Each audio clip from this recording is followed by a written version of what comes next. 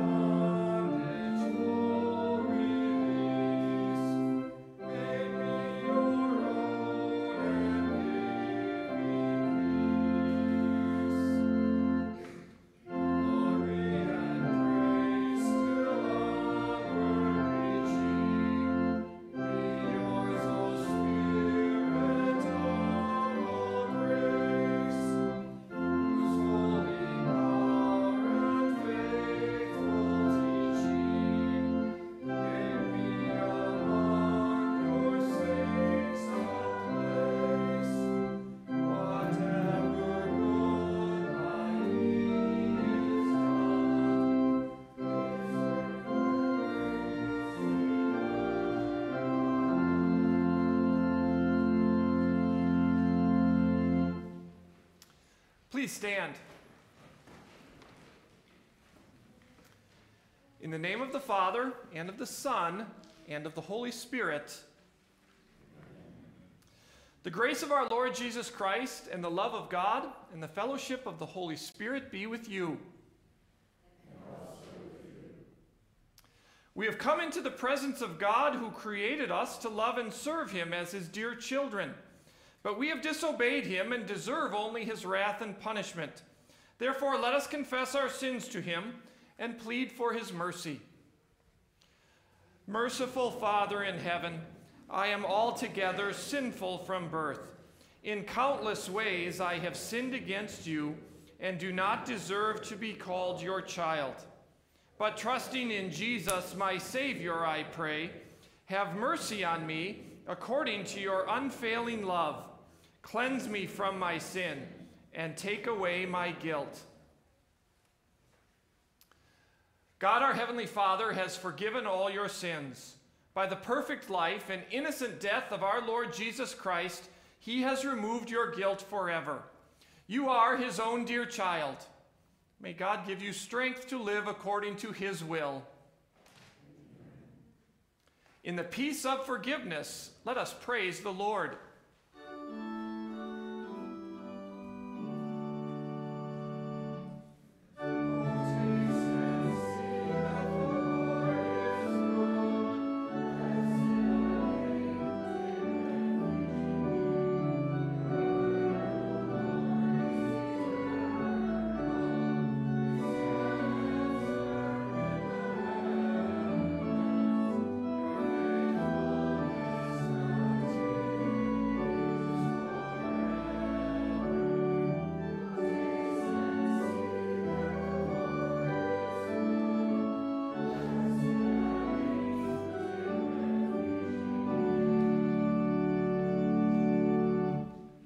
Let us pray. Almighty God and Father, dwelling in majesty and mystery, filling and renewing all creation by your eternal Spirit, and manifesting your saving grace through our Lord Jesus Christ, in mercy cleanse our hearts and lips, that free from doubt and fear we may ever worship you, one true immortal God, with your Son and the Holy Spirit living and reigning now and forever.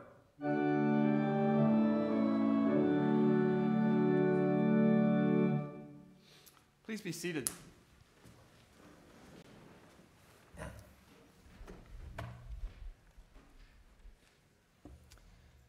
For our first lesson, we hear the Word of God recorded for us in Isaiah chapter 6, the first eight verses. The lesson will serve as our sermon text this morning. In the lesson, Isaiah has a vision into heaven. He sees God. He is overwhelmed by what he sees. But God offered him comfort, the comfort of forgiveness. In the year that King Uzziah died, I saw the Lord seated on a throne, high and exalted, and the train of his robe filled the temple. Above him were seraphs, each with six wings. With two wings they covered their faces, with two they covered their feet and with two they were flying. And they were calling to one another, Holy, holy, holy is the Lord Almighty. The whole earth is full of his glory. At the sound of their voices, the doorposts and thresholds shook, and the temple was filled with smoke. Woe to me, I cried. I am ruined, for I am a man of unclean lips, and I live among a people of unclean lips. And my eyes have seen the King the Lord Almighty. Then one of the seraphs flew to me with a live coal in his hand, which he had taken with tongs from the altar. With it he touched my mouth and said, See, this has touched your lips. Your guilt is taken away, and your sin atoned for. Then I heard the voice of the Lord saying, Whom shall I send? And who will go for us? And I said, Here am I. Send me. This is the word of the Lord. We'll continue by singing the first two stanzas of hymn 239.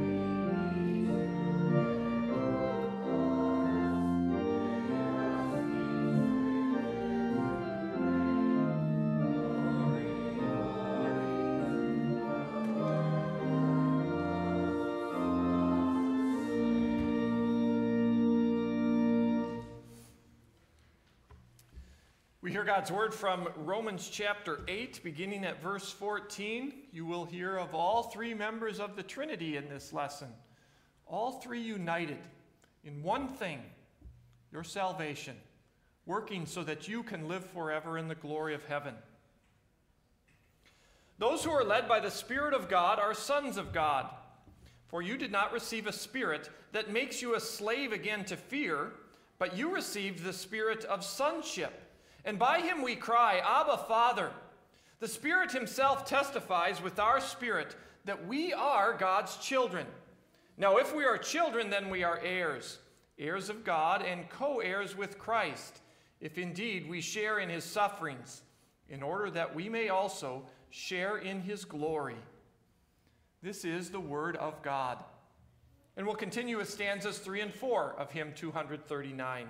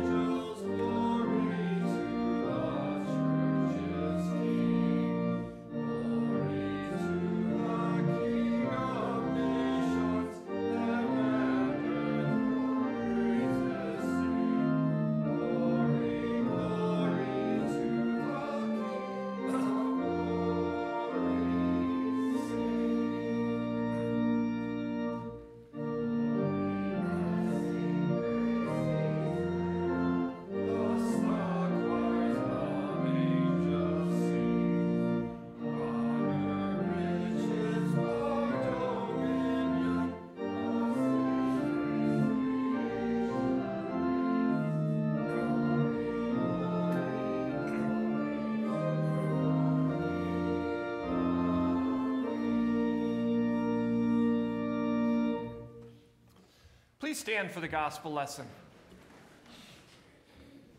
Our gospel lesson for this morning is recorded for us in John chapter 3, beginning at verse 1. This is the conversation between Jesus and Nicodemus. In the lesson, Jesus doesn't discuss or try to explain the doctrine of the Trinity, but he does talk about the Father, the Son, and the Holy Spirit, each working, again, for our salvation. Now there was a man of the Pharisees named Nicodemus, a member of the Jewish ruling council. He came to Jesus at night and said, Rabbi, we know that you are a teacher who has come from God, for no one could perform the miraculous signs you are doing if God were not with him. In reply, Jesus declared, I tell you the truth. No one can see the kingdom of God unless he is born again. How can a man be born when he is old? Nicodemus asked. Surely he cannot enter a second time into his mother's womb to be born. Jesus answered, I tell you the truth. No one can enter the kingdom of God unless he is born of water and the Spirit. Flesh gives birth to flesh, but the Spirit gives birth to spirit. You should not be surprised at my saying, You must be born again. The wind blows wherever it pleases. You hear its sound, but you cannot tell where it comes from or where it is going. So it is with everyone born of the Spirit. How can this be? Nicodemus asked. You are Israel's teacher, said Jesus, and do not and do you not understand these things? I tell you the truth. We speak of what we know, and we testify to what we have seen. But still, you people do not accept our testimony. I have spoken to you of earthly things, and you do not believe. How then will you believe if I speak of heavenly things? No one has ever gone into heaven except the one who came from heaven, the Son of Man. Just as Moses lifted up the snake in the desert, so the Son of Man must be lifted up, that everyone who believes in him may have eternal life. For God so loved the world that he gave his one and only Son, that whoever believes in him shall not perish, but have eternal life. For God did not send his Son into the world to condemn the world, but to save the world through him. This is the gospel of the Lord.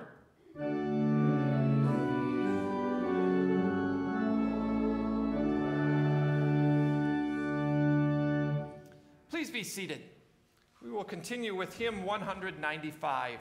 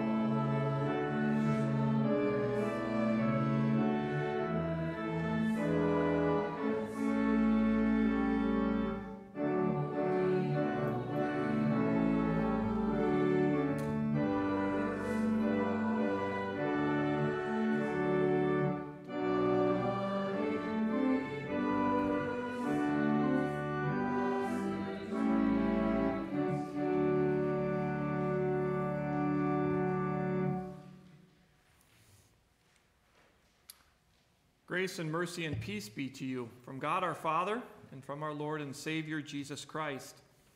Amen. The Word of God, which we will consider as the first lesson we had from this morning, recorded for us in Isaiah chapter 6. In the name of our triune God, brothers and sisters in, Lord, in uh, brothers and sisters in the faith, I suspect, like you, I frequently do things that quite frankly, I don't understand how they work. For example, I don't honestly understand how my cell phone works. I, I have no idea. Transmits data and pictures and not just voices, but the actual sound of a person's voice. It, it, it actually sounds like that person. I, I have no idea how that technology works. And it, it works wherever I go. I got a phone call once after I passed a sign in Utah that said next gas station 108 miles or something like that. I'm literally out in the middle of nowhere and my phone rings. And I have a conversation with a person. I don't know how that technology works. Or a couple of years ago, I went to Israel and my, on my flight home, I had a layover in Germany. And as I was sitting in the airport and I was just looking out the window, an Airbus A380 started rolling towards me. This is the, the biggest passenger plane they make. And as I saw it rolling towards me, I thought, it's amazing something that big can move, let alone that they can get it in the air. Well, as I watched this plane taxiing through the airport, it suddenly made a left turn in front of me and pulled into my gate. It was my ride home. And you know what I did? Even though I don't understand how they can get something that big in the air, you know what I did when they said it was time to get on board? I got on board. Didn't even think about it, didn't worry about it. Somebody who knew how to make planes fly had figured it out. I wasn't concerned. And so I crawled on board this gigantic plane, just like I do when my cell phone rings. I don't know how it's working, and I can talk to my parents who are on the other side of the continents. But it's ringing. I'll answer it. I don't understand how it works, but I'm more than happy to make use of it. You may understand how cell phones or better understand how planes work than I do, but I bet there's something out there. You just, you just really don't understand how it works, and it doesn't bother you. You just make use of it. You use those, those inventions that are out there, even though you can't explain them, even though you could never make one yourself. If we struggle to understand some of the things that have been made in this world, some of the machines and inventions that are out there, imagine understanding and explaining God. How do we explain the existence of God, the, the, the true nature of God? St. Augustine, one of the early church fathers, was was overwhelmed as he thought about God's nature. And, and he said this In short, human speech labors under a great inadequacy. Nevertheless, we speak of three persons. Not that that adequately expresses the truth, but so as not to pass over the matter in complete silence. For the ineffable grandeur of the subject cannot be explained by this term. Or Martin Luther was once noted to say that we use the word Trinity even though the word doesn't really make a lot of sense. So, in other words, we've come up with these terms that we'll use. Let's just all agree to use the word Trinity, to use the words or word persons, but they don't really adequately explain God's nature. But we'll just all agree that's the best we can come up with. So we'll use those words. On Trinity Sunday, we have to be confronted with the, the divine, impossible math of God's existence. That with God, 1 plus 1 plus 1 equals 1, not 3. That the Father, the Son, and the Holy Spirit are not each a third of God or a part of God, but they are each completely God. And that math just doesn't work out. We've come up with all sorts of illustrations to try and help us understand it, but the fact of the matter is, every one of them misses the point somehow. We use a triangle or a, a clover leaf, but that would suggest that the Father's a third God, just one side of the triangle. That's, that doesn't quite explain it fully. Or sometimes people talk about how water can be a solid, a liquid, or a gas, but the water molecules can only be one at a time. But God's the Father, the Son, and the Holy Spirit. He's three, yet He's one.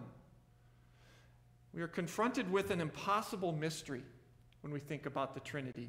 And the true test of whether or not you, you understand what the Bible says about God's nature, about his triune nature, the true test remains that you can admit that you don't understand it.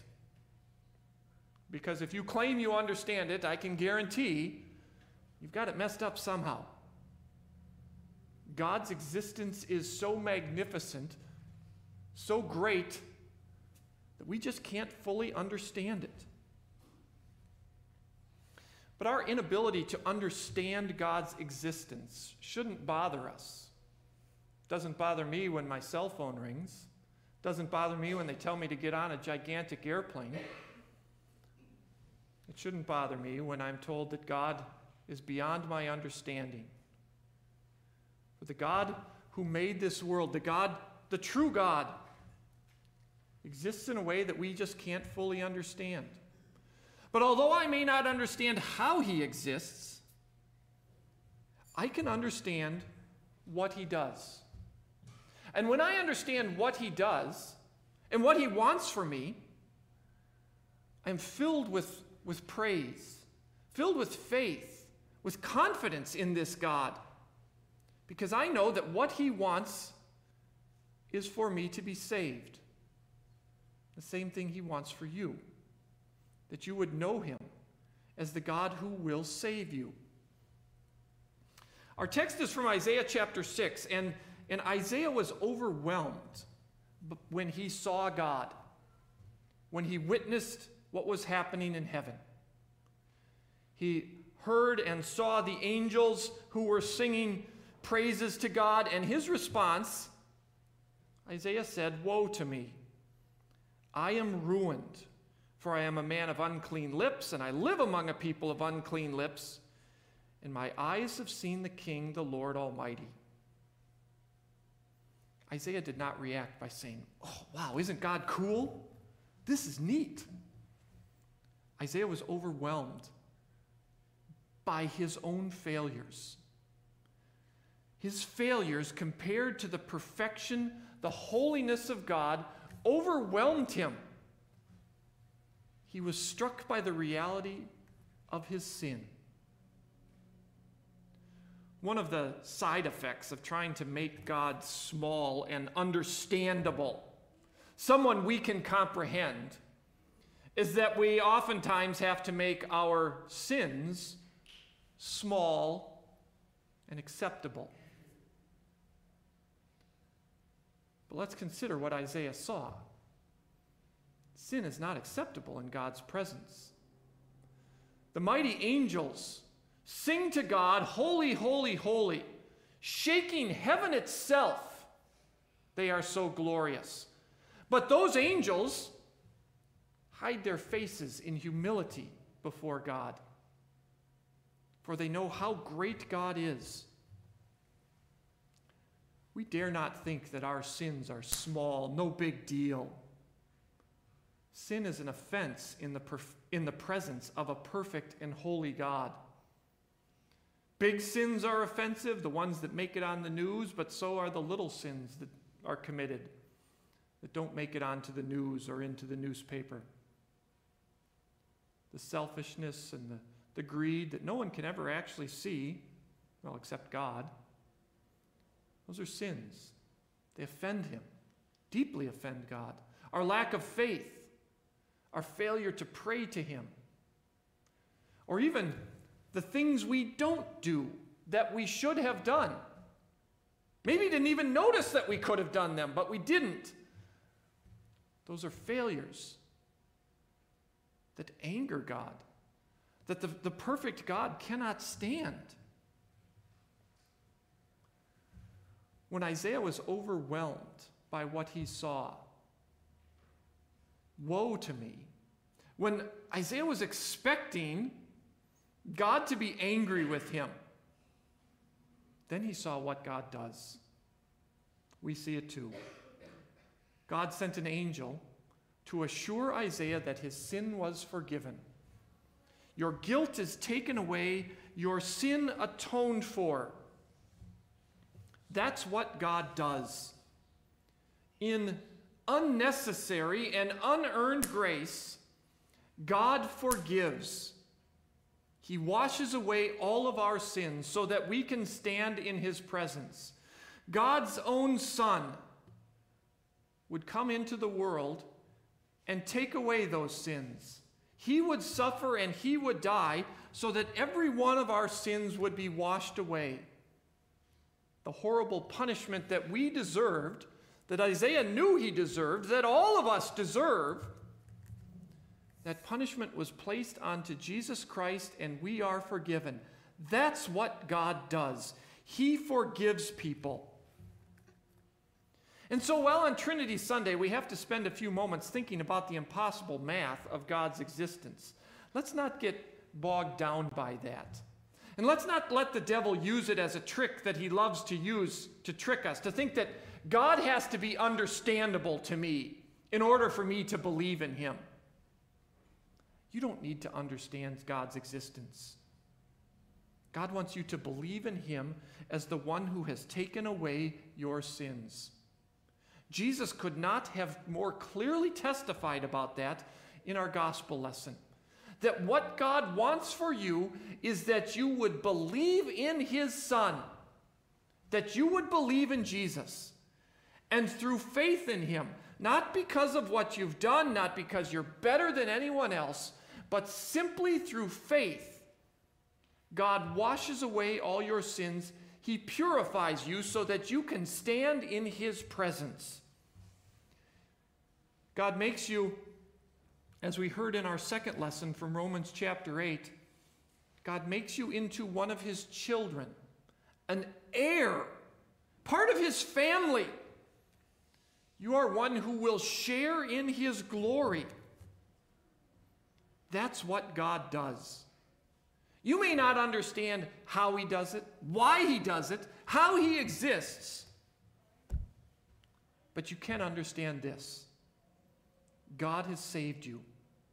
God has come into the world so that you can live in the comfort and the peace of knowing that you are forever His child. God never asked you to understand Him to explain him. God wants you to believe in him. He wants you to believe that the promises that he makes will come true. The promise that Jesus makes that whoever believes will be saved is true. God wants you to believe all his promises. That when he speaks, you know it will happen. And so you can believe all of them.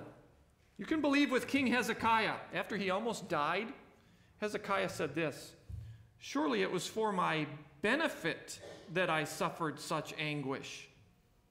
You can believe that God is always working for your good. You can believe the promise of the psalmist uh, in Psalm 25 No one whose hope is in you will ever be put to shame. Even though we can't explain it, and even though the world would like to say that that what we believe is, is silly and ridiculous, and we might think the world thinks we're, we should be shamed. We're not. We believe the promise of God. There's no shame in believing in God, no matter what the world says. For God will save us. He will work in our lives for our good. He will, he will be with us for eternity, for He will save us and knowing that that's what God does, we can respond as Isaiah did Here am I, send me. You may not be called to be a prophet like Isaiah was, but nonetheless, God has given you gifts and opportunities to serve Him.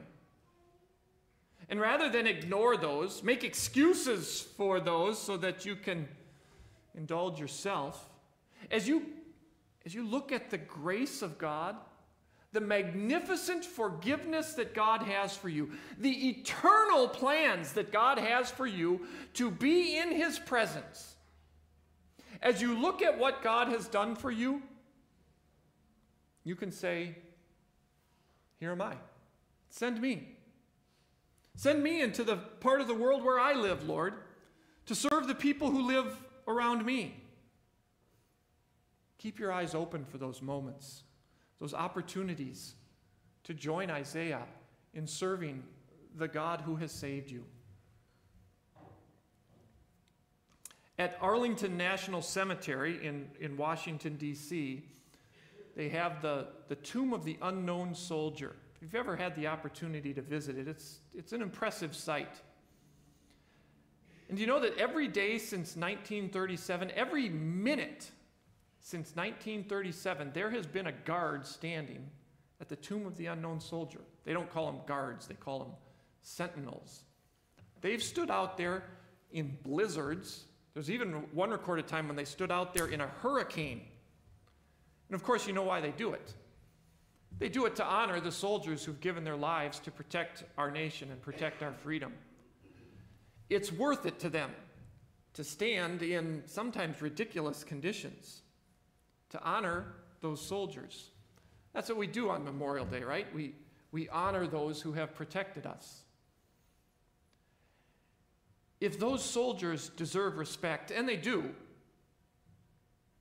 how much more the God who has saved us for eternity, the God who has sent his Son into the world to die for us.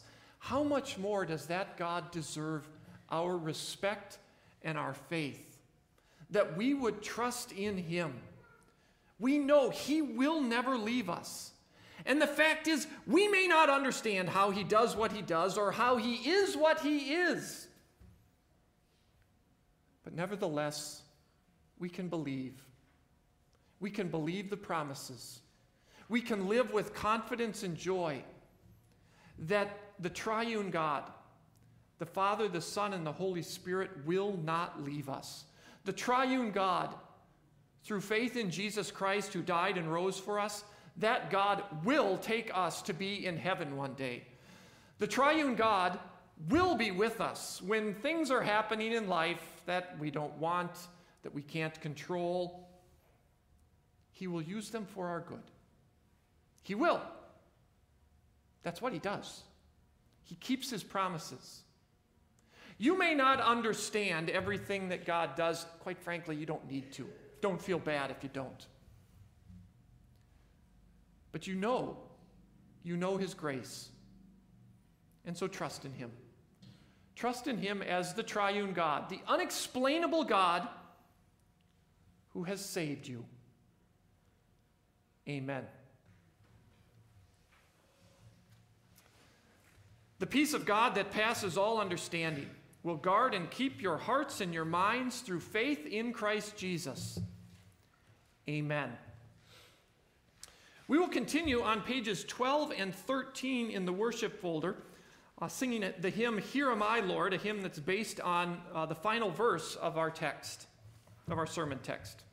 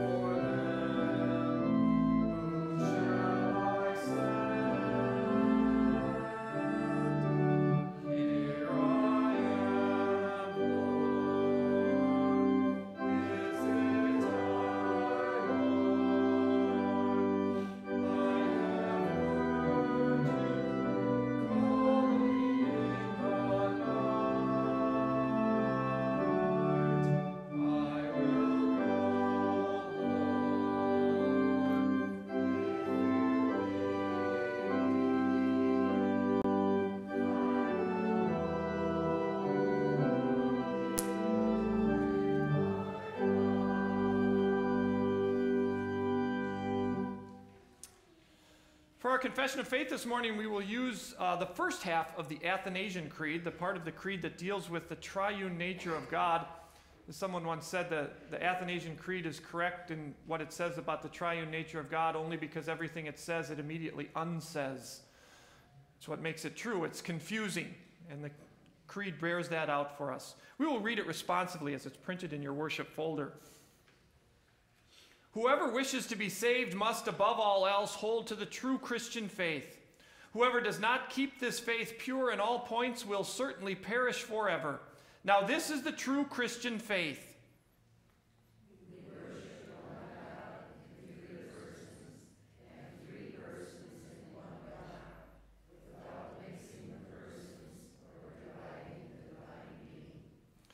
For each person, the Father, the Son, and the Holy Spirit is distinct.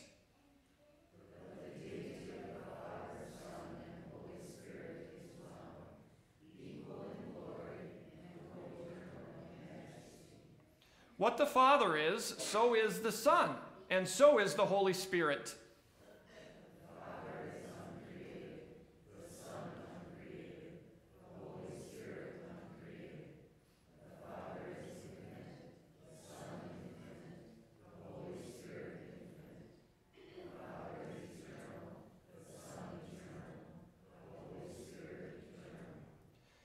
Yet they are not three who are eternal, but there is one who is eternal. Just as they are not three who are uncreated, nor three who are infinite.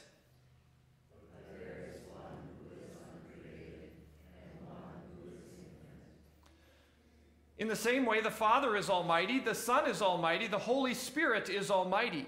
Yet they are not three who are almighty, but there is one who is almighty.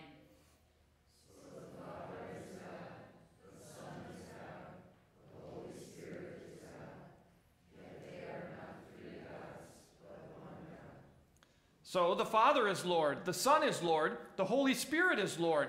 Yet they are not three Lords, but one Lord. For just as Christian truth compels us to confess each person individually to be God and Lord,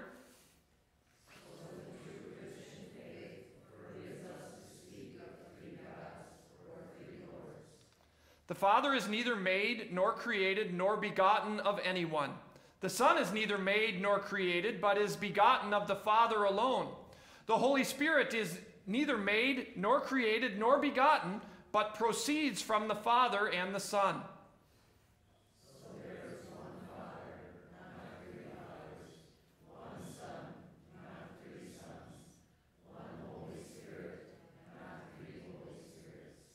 And within this Trinity, None comes before or after, none is greater or inferior, but all three persons are co equal and co eternal, so that in every way, as stated before, all three persons are to be worshiped as one God, and one God worshiped as three persons.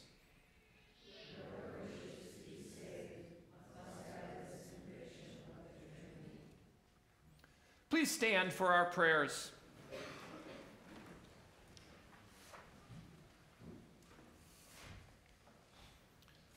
Lord of hosts, your ways are beyond our understanding, and your judgments are unsearchable. Through your word, give us an ever growing insight into the depths of your riches. Give us insight into your wisdom and knowledge, that we may glorify you forever and trust in you at all times. Lord of hosts, you gave your only Son, that whoever believes in him shall not perish but have eternal life.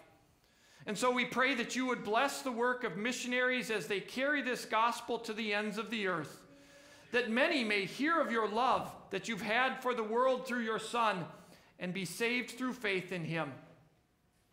Lord of hosts, may we continually grow in the joy of our baptism. As you have given us new life, may we have joy and confidence as we cling to your promises. Lord God, we give thanks for those who have served our nation through their military service. And we remember with gratitude those who gave their lives for us and for the cause of freedom. Help us to honor their sacrifice by using our liberty with responsibility. Keep safe all who travel. Bless our nation with responsible citizens who eagerly serve one another and who are honest in all their dealings. Lord of hosts, we ask that you would uphold all those who are suffering from any illness or trial in life, that since you are at their right, their right hand, they would know that they cannot be shaken. Gladden their hearts, cause them to rejoice, even in times of trouble, as they trust that all your promises will be fulfilled. All these things and whatever else you know that we need, grant us, Father, for the sake of him who died and rose again and now lives and reigns with you and the Holy Spirit, one God forever and ever. Amen. And we join together in the Lord's Prayer. Our Father, who art in heaven, hallowed be thy name. Thy kingdom come, thy will be done on earth as it is in heaven. Give us this day our daily bread, and forgive us our trespasses, as we forgive those who trespass against us. And lead us not into temptation, but deliver us from evil. For thine is the kingdom, and the power, and the glory, forever and ever. Amen. Please be seated. We will continue with hymn 753 Father God of Grace, You Knew Us.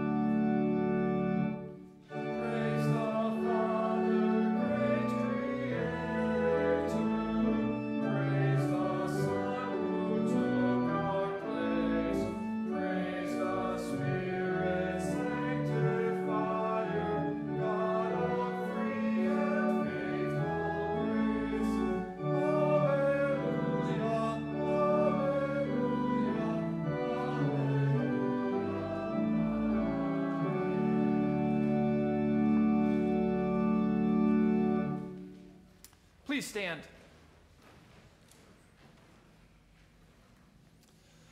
O Lord God, our Heavenly Father, pour out the Holy Spirit on your faithful people. Keep us strong in your grace and truth. Protect and comfort us in all temptation, and bestow on us your saving peace. Through Jesus Christ our Lord, who lives and reigns with you in the Holy Spirit, one God now and forever.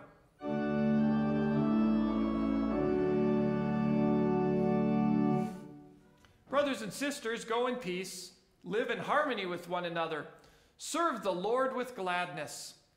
The Lord bless you and keep you. The Lord make his face shine on you and be gracious to you. The Lord look on you with favor and give you peace.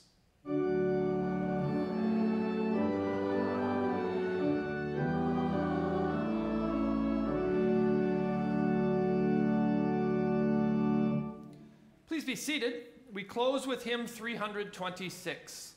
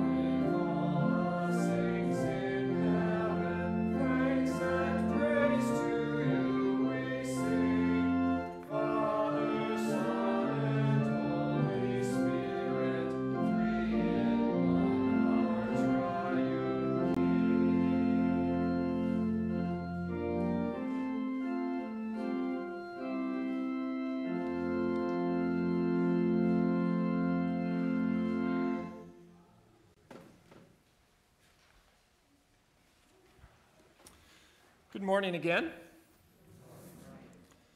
There are three pages of announcements for you to read this morning. I'm not going to read all of them to you, but please make sure you take time to look at them. I got to highlight a couple of them. Uh, uh, service times will change come July 4th, so about a month away, uh, where we will have services on Sunday mornings at 8 and 10:30 with Bible class in between. Please, please make note of that. Uh, just today, we'll be having a door offering for the Lutheran Military Support Group, a group that works with WELS members who serve in the military and veterans. There'll be a, a plate in the back for you if you'd like to participate in that uh, door offering.